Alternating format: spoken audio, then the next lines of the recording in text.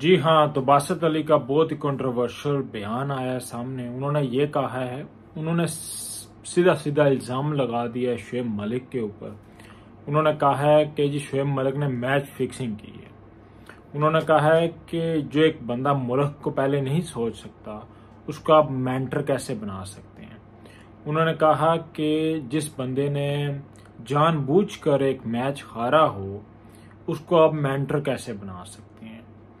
وہ الزام لگا رہے ہیں شعیب ملک کے اوپر کہ انہوں نے میچ فکسنگ کی تھی۔ انہوں نے کہا ہے کہ اگر آپ ثبوت چاہتے ہیں میں دوں گا، لیکن رمیز راجہ کے انٹرویو کے انٹرویو کے دوران انہوں نے کیا کہا تھا شعیب ملک نے؟ بس یہی کہا ہے انہوں نے۔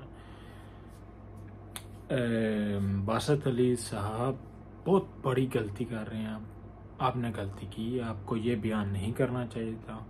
یا اگر آپ کسی کے اوپر الزام لگا رہے ہیں تو آپ کو ثبوت دینے چاہیے اور اسی وقت دینے چاہیے تھے جب یہ ہوا تھا۔ بھی آپ یہ سامنے لے کر آ رہے ہیں کہ آپ ریلیونٹ رہنے کے لیے آپ یہ کہہ رہے ہیں کیونکہ آپ یوٹیوب کے ویڈیوز آپ نے چلانے ہوتے ہیں۔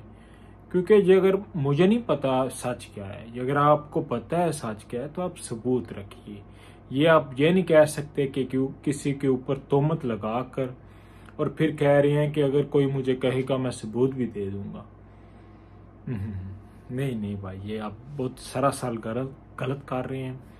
اور شعیب ملک کو ایکشن لینا چاہیے لیگل ایکشن لینا چاہیے، یہ اگر وہ سچے ہیں یہ اگر وہ دل اپنا بڑا رکھتے ہیں، لیکن یہ بات نہیں ہونی چاہیے۔ یہ اچھی بات نہیں ہے کہ آپ کسی کے اوپر تومت لگا دیں یا کرکٹ کے اوپر بات کیجیے یا اگر آپ کو اچھا نہیں لگتا اور اگر آپ کے پاس ثبوت ہیں تو آپ آدھی بات مت کیجیے، پوری بات کیجیے۔ تو مجھے لگتا ہے کہ یہاں سراسر غلط ہیں، باسط علی۔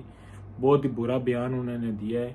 مجھے نہیں پتا کیوں انہوں نے دیا ہے، یا اگر وہ چھوٹ بول رہے ہیں تو پھر تو بہت ہی بڑی بری بات ہے۔